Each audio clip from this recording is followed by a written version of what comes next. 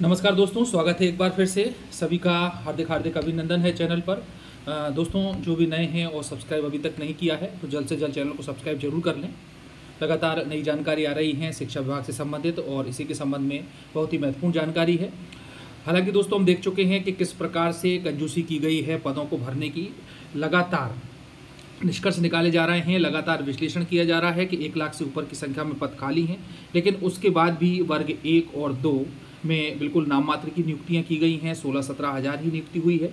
हालाँकि तीस हज़ार पाँच सौ की बात की गई थी, बजट भी पास किया गया था, लेकिन उसके बाद भी अभी तक गवर्नमेंट ने गोल गोल घुमा करके रखा है। और अभी तक की स्थिति ऐसी है कि चार साल हो चुके हैं और अभी भी शिक्षक भर्ती की प्रक्रिया पूरी नहीं हुई है, लगातार पदवृद्धि की मांग की जा रही है। नेग्लेक्टेड सब्जेक्टों को हमेशा नेग्लेक्ट ही रखा गया है। हिंदी सोशल साइंस विज्ञान और उर्दू में ज़ीरो की संख्या में पद आए हैं। वहीं पर हम वर्ग तीन की बात करें तो यहाँ पर भी मात्र भंडारा चलाया गया है, अठारह पदों का। लेकिन यहाँ पर भी एक लाख के आसपास पद खाली हैं, बहुत अधिक संख्या में पद खाली हैं। चाहे हम जनजाति विभाग की बात करें, चाहे हम डीपीआई की बात करें तो इसी के संबंध में दोस्तों बहुत सारी संस्थाएँ हैं, उन्होंने मुख्यमंत्री जी को पत्र लिखा है और आखिर किस प्रकार से बात की है कि क्यों बत्तीस हज़ार पाँच सौ पद उन्होंने कम रखे हैं। चलिए बात कर लेते हैं, एक लेटर हेड के माध्यम से, एक संस्था के माध्यम से, किस प्रकार की जानकारी दी गई है, क्या संदेश दिया गया है। तो दोस्तों देखो आप लोग की भारतीय मूल नायक संघ है, उन्होंने पहले भी लेटर लिखा था और अभी भी लेटर लिखा है मुख्यमंत्री जी के नाम पर। और वही मांग है कि वर्ग तीन में इक्यावन हज़ार पदों पर वृद्धि की जाए, भर्ती की जाए। हम जानते हैं कि 17 नवंबर से इसकी प्रक्रिया स्टार्ट होने वाली है तो उसके पूर्व यदि पदों की संख्या को बढ़ा दिया जाए तो ज़्यादा अच्छा रहेगा।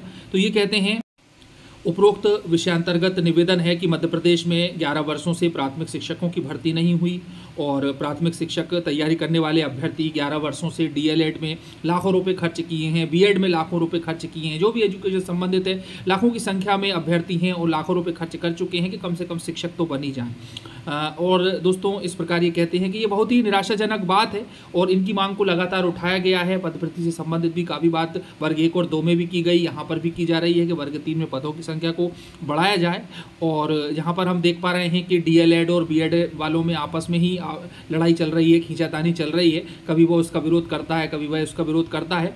और यहाँ पर हम देखेंगे कि जो बी है डीएलएड है उनको प्राथमिकता नहीं दी गई तो संपूर्ण मध्य प्रदेश के डीएलएड कॉलेज बंद हो जाएँगे ऐसा भी उनके द्वारा कहा गया है।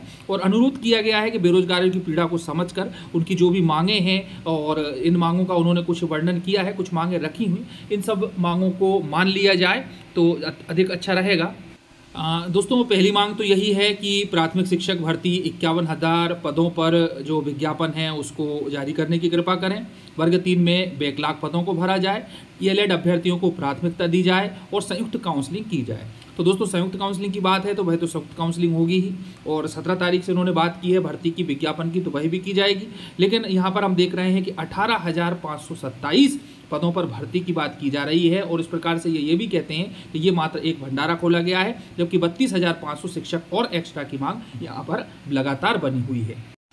और साथ में D L Ed B Ed वालों का तो आपस में संघर्ष चल ही रहा है। बीएड वालों के लिए जो योग्यता निर्धारित की गई है, उसमें छः माह का ब्रिज कोर्स करने की अनिवार्यता बताई गई है कि उनको यदि लेते हैं, कुछ सीट्स बचती हैं बीएलएड के बाद में तो उनको लिया जाएगा और उनको छः महीने का ब्रिज कोर्स करवाया जाएगा।